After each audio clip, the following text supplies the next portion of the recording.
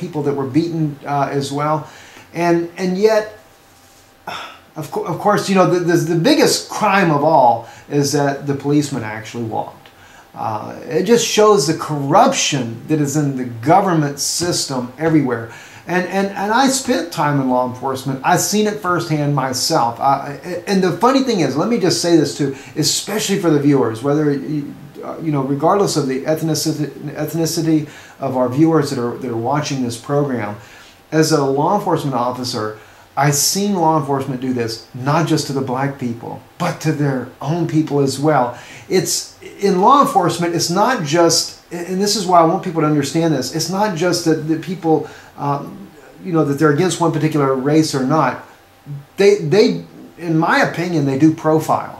Uh, you don't have to just be black. If they think that you're quote unquote white trash, uh, they got something against you, they're going to do this to you as well. And, and I personally took up for a, a, a white man that was uh, chased down for running a stop sign.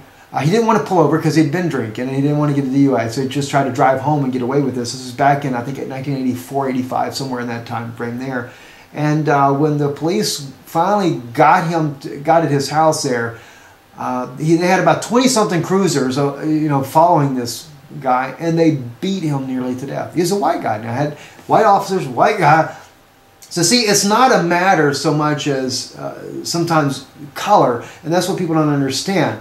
They were angry with this guy, and it, I remember, Sister Mena, you brought out to me a point about power trip. Uh, Trayvon Martin, no doubt, was on a power trip, and and and I agree with you 100%. You know, you find that especially with people that are not quote unquote law enforcement officers, they're security officers, and for them, it's even more of a power trip. They want to show that they've got some kind of authority to be able to do something. And Trayvon Martin just ended up being at the wrong place at the wrong time with a, with a, with a guy that's got an issue here. Uh, so should he have been convicted? I mean, according to the jury that we that we that, that, that even spoke afterwards, the problem was not that they didn't believe that he was guilty of something here. It was the way the trial is presented, guilty beyond a reasonable doubt, and that's where they had the problem at. Uh, so our, our, our system is messed up as it is, and so therefore there's many people that go unpunished uh, for crimes just because they, somebody thinks they're somebody. And, and, and I've, I've met many of people in my day that were in jail, incarcerated, that I personally thought were innocent. Uh, see that happen as well. Uh, but then again, we have the other side of the coin too. You know, there's so many people uh, that, that they get arrested for drugs or whatever, and it doesn't matter if you're white or black. They they're right back out on the street again. They get a little slap on the wrist, nothing happens to them. They're right back on the street. Then of course you've got the other side of that. People that have money, they can get the attorneys, and and it's just a political thing in the background. And so it is corrupt all the way to the core, from the White House all the way down to the janitor. To the janitor, I like that.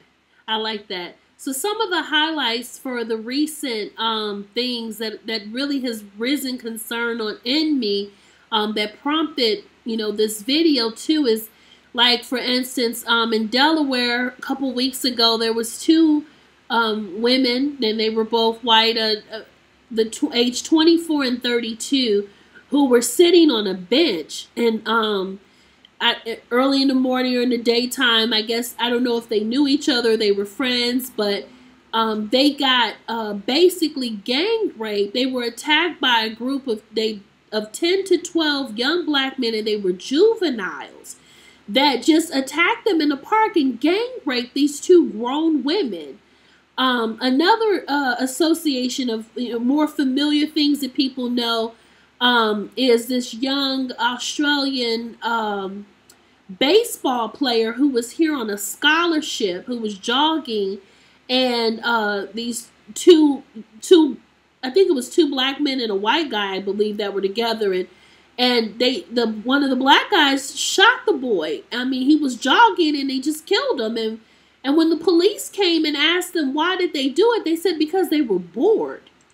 Um, another incident that my husband brought to my attention, who was also in law enforcement, um, was just here last week where um, this guy was sitting on his porch. Another, uh, again, another black guy sitting on his porch, and he just jumped up and said that you know he was gonna beat the next white person that walked past because he was just tired of of what was what all the white people were doing to the black people and he ended up uh, long story short uh, beating up three people which left one person brain dead. He hit this guy in the head so hard he ended up brain dead um, and i think the family recently just took him off of life support and um, he died unfortunately.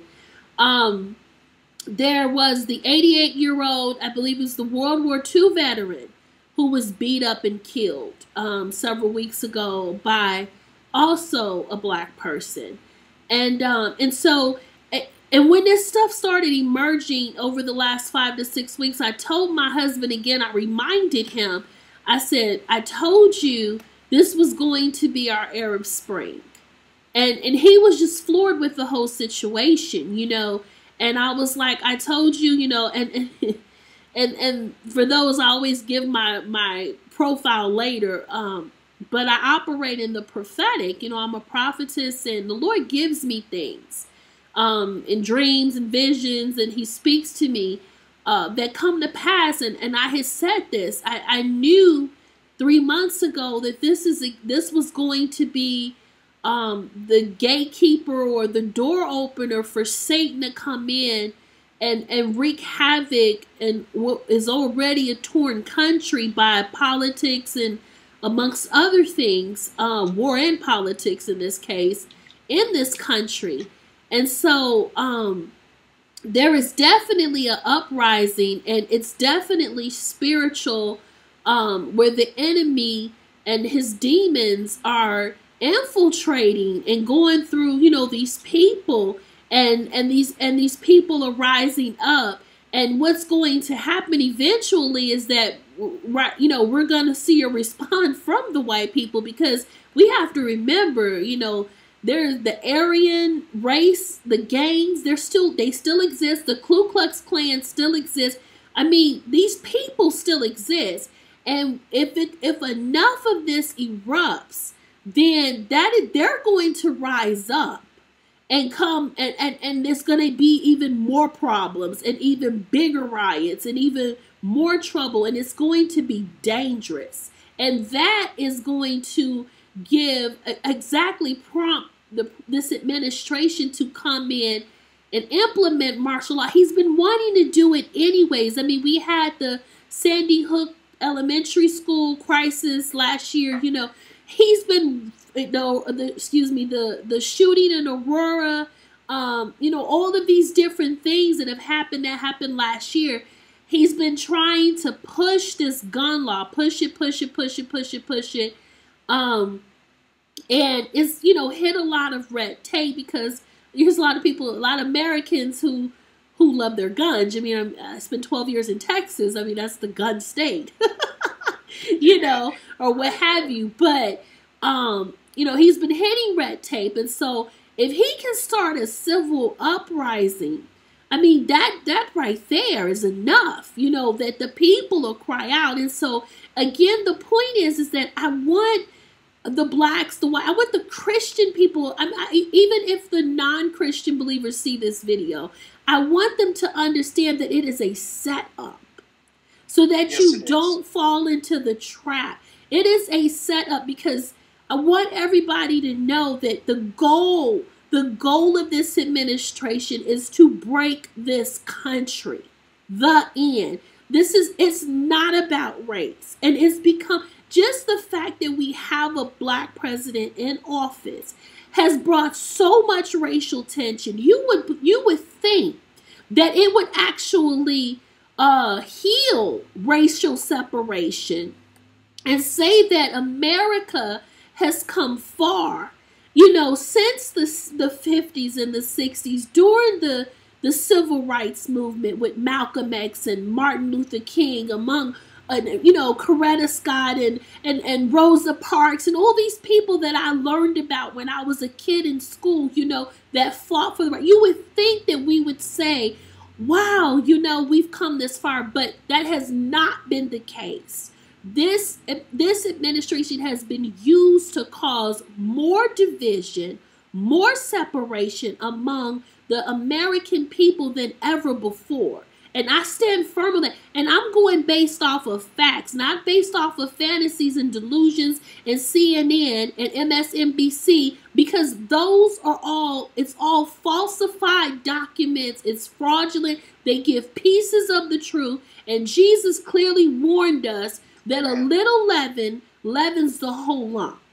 That's it. It only takes a little bit of lie to make it a whole lie. And so these these people on these news, they're being paid to tell us lies. The end. Okay.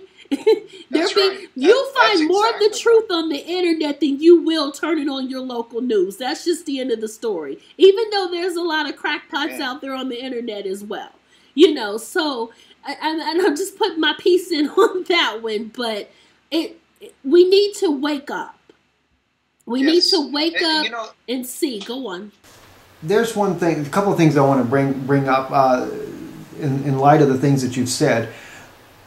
You can look back in the civil rights movement, and there, of course, and I'm sure even in the civil rights movie, movement, there were those that were probably more for maybe popularity. I, I don't know. I, I really think when you look at Martin Luther King, people like this man here, he had a sincere passion from what I from everything that I've ever gleaned from it, uh, you know, from the studies in school and everything, you know, he was there for a righteous cause. He was never there for violence. Uh, you know, and what has happened to the to that type of movement? Like you said, if we have, which it's obvious that we have a, a black man that is president of the United States, that should have been one of the greatest achievements of all time um, in, in this country to show that that divide is being broken down finally.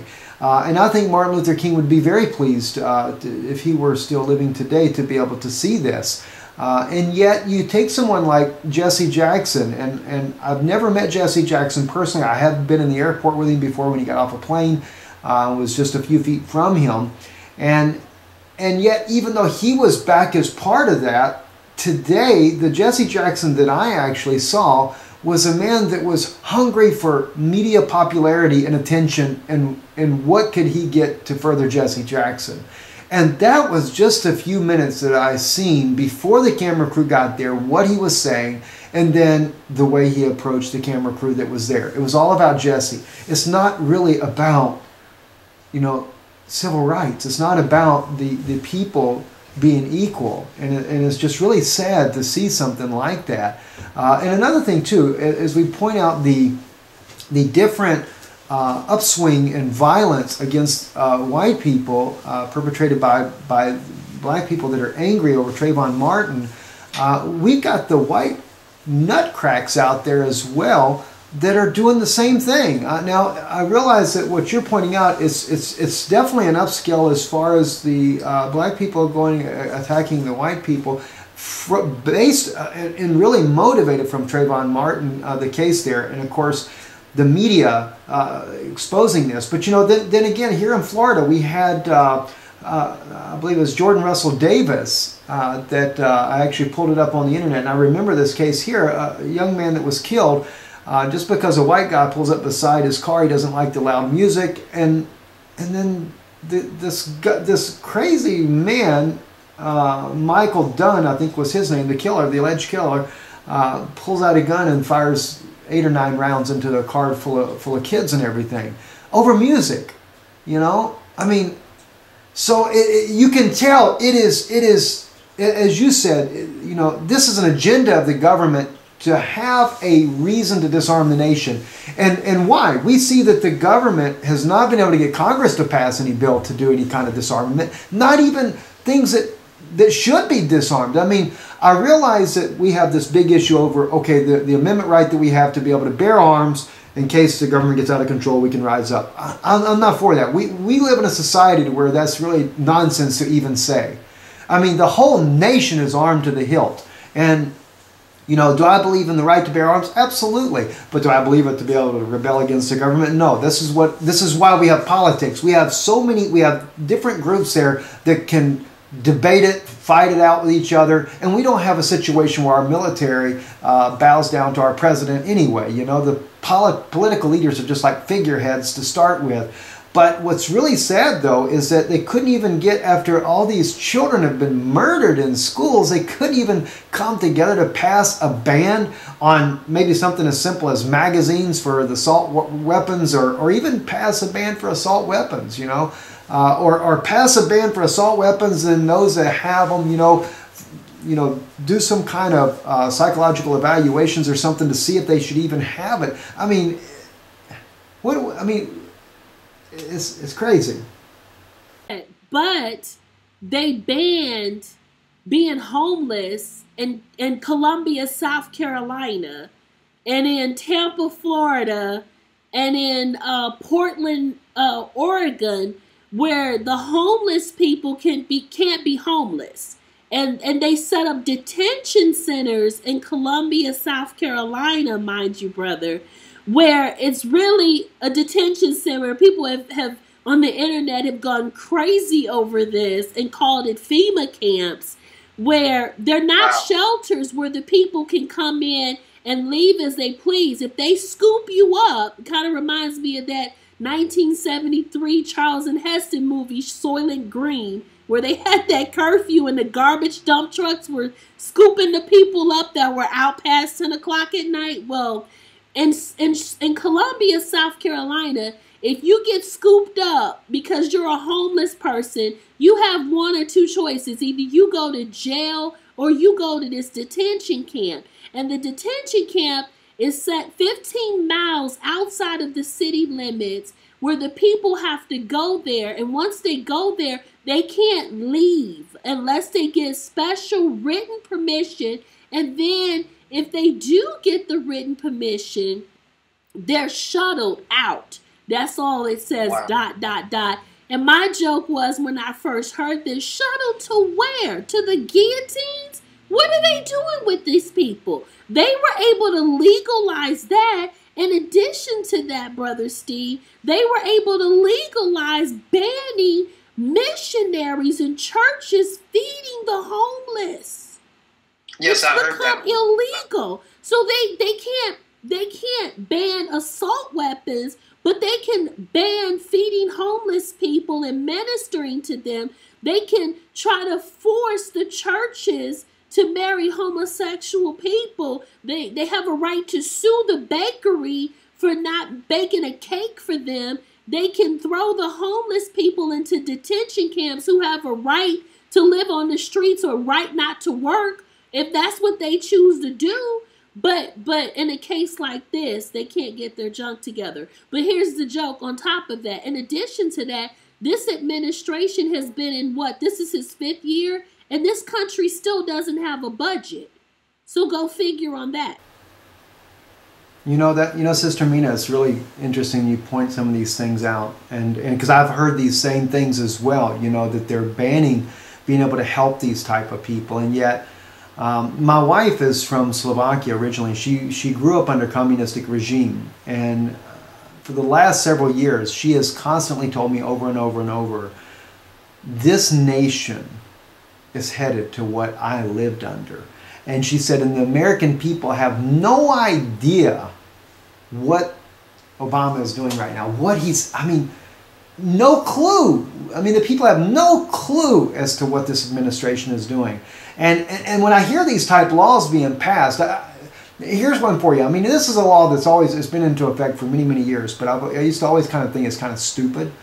They have, you can't drink and drive, but yet you go to the bar. What do they think that people leave sober? I mean, I never could quite understand that. I mean, if you're going to have don't drink and drive, you need to have a busing system then for the bars, you know? And, and yet, but no, but what is it? It's a money maker. They make a don't drink and drive. Why? Because all the lawyers who end up getting into politics anyway make millions of dollars of suing each other over the fact that you drove and you drove while you were drunk and you killed everybody in that guy's family or you know, I mean, this is it's gone it's gone mad says you know they take i told my wife i said look they take the the name they take god out of the schools take the bible out of the schools take discipline out of schools. Now the schools have become a bunch of neurotics. All the kids are crazy. The teachers what are they allowed to do? Yell. You know how, how far do you think yelling is going to get you? You know? Not at all. And then they wonder why kids go in there and they go berserk and they go shoot everybody in the school because they know there's no, no nothing's going to happen. There's no retribution whatsoever. Uh, this nation is getting exactly what happens when you forsake God. And that's what's happening to this nation. And the same thing when, when this. Uh, oh gosh, I, I, don't want to forget one thought, Sister Mena, before I, I get on a tantrum here. Um, you mentioned to me about subliminal messages before we came on uh, a couple of days ago. We were talking about this. Can you elaborate on what you know about that? Oh, I was just talking about how everything we face today is subliminal messages. There are things that are in our face. Um, and, and just to, to say, I'm, I'm a mother of three children who are um, teenagers. And, and I mean, I'm in my mid 30s, and so I'm not that old. And and I remember, you know, I I graduate. I was I'm a child of the 80s, you know, in the 90s when you know hip hop and all that stuff was really peaking. Um, before it became before it crossed over into gangster rap and became something that's not even music today it's just garbage but i came out of that era and you know, I, I, think all of our parents, we've all, at some generation, I think going all the way back to the 50s when Elvis Presley first came out, you know, and the parents started saying, oh, this generation is so awful, you know, they're so ruthless. And, and, and I talk about how, you know, in the 90s and the 80s, late 80s and early 90s, because I was out of school by the early 90s, but, you know, how what we had to face was uh, you know, your drugs, your alcohol. Um, there was a percentage of dropouts. There was teen pregnancy, um, and there were gangs. And this is just growing up in Chicago, okay? That was not that bad back then, okay? So those were things that we did face, okay? And we, we knew who the bad kids were and, and who weren't the bad kids or what have you. And and yet at that time, my mother and my father and you know all them were, oh, you know, we didn't have to deal with that when we were kids and so on and so forth.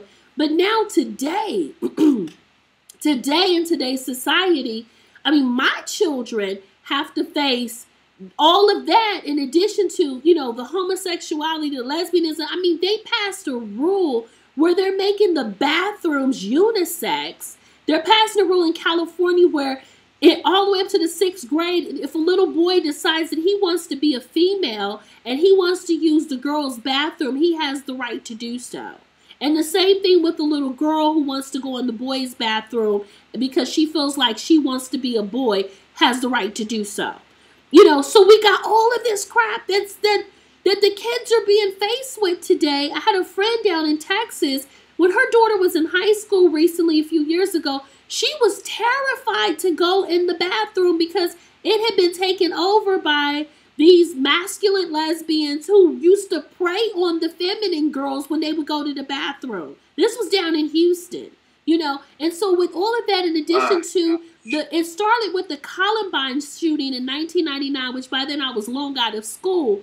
But you know, now we've got the shootings and and and you know, it, all the way up until last year with the Sandy Hook shootings in elementary school, and that whole entire kindergarten class perished. I mean, this is what our children are facing today. Now, that's the in your face stuff, but then there's the subliminal stuff that is everywhere. I mean, in the billboards, on your television, on the internet, the flashing things, the that that are subliminal signs. You know, there's the whole uh, rise of the Illuminati that people at first started saying was just a conspiracy theory. I'm here to tell you right now, it is not. I was in the music industry for two and a half years. I was a promoter. I worked with major R&B singers, and I I was actually offered a hundred thousand dollars advance to bring my the branch out and come to the East Coast. I turned it down. This was in 2007. I turned it down because I knew I was getting into ministry. And I knew that when I got into ministry, I could not bring anything secular. I had to sell out to Jesus, basically. But I'm Amen. here to tell yeah. you that when I was in that music industry, that thing is very, very true. And these people, I don't let my children listen to these people. You know, these these Katy Perry, you know, and what's so sad about Katy Perry is that her parents are Pentecostal preachers. And she literally went on tape and said she had sold her soul to the devil. We've got the My Beyonce. Beyonce. Look, I'm from Houston. I know people that went to school with her. I know about the whole Destiny Child group. I know the church that they went to. Okay, the the Baptist church that she belonged to. You know, and and she didn't start out like that. When she got with Jay Z, that was the end of it. This man, Jay Z, he's a 33rd degree Mason. And let me tell you something about the Masons. When they get up to that 31st, 32nd, and 33rd degree, they are, it is unveiled to them that they are worshiping Baphomet. Okay, I did a deep study on the Masons years ago. They are not Christians. They they start off in the lower levels, and, and unfortunately, it has been a big attraction to black people um, because they are over the sorority, sororities that go on in the colleges, the Alpha, Beta, Omega. I don't, you know, all the they they they funded that. They started that, you know, and they're tied into that, and it attracts a lot of the black people. But it is a cult. It is an occult. Yes, excuse me. Is yes, what it is. is. And I mean, it's just plain and simple. But they don't tell you that at first. And it goes back to that little leaven that leavens the whole lump. They start off in the Bible. They start off with the Ten Commandments. They teach you everything from Genesis to Revelation. It is a trick of Satan because it's not until you go up high enough and you go through what they consider to be a black communion, okay? Where they take communion in black hood, cloak, black cloaks and they drink blood out of a skull, okay? And they don't do this until you get up into the highest ranks. And basically, you are turning your life over to Satan. You are worshiping Baphomet. Jay Z is a, a 30, 32nd, it might be 32nd and not 33rd degree Mason. And that symbol, which I'm going to put up on the screen, and everybody knows this symbol, is and the all. You said that's Jay Z, is that? Jay Z is the rapper. He is the highest. Oh, Jay Z, okay highest paid rapper in this country. Okay? And he is married to Beyonce. That sign that everybody uses is the all seeing eye, which is on the back of your yes. dollar bill. It is the eye of Ra, okay, which was an Egyptian god back in before the time of the flood, okay? And all of that is ties to the Nephilim, which are the fallen angels, okay? Do you know, your Let me just